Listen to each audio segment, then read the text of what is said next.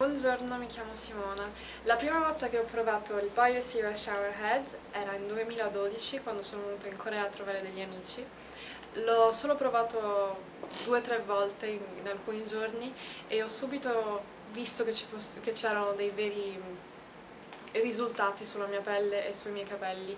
Io ho tendenza ad avere la pelle molto secca, un po' rossa anche e dopo solo alcuni utilizzi ho visto che il rossore era già diminuito di molto e i miei capelli erano anche più morbidi e anche più brillanti.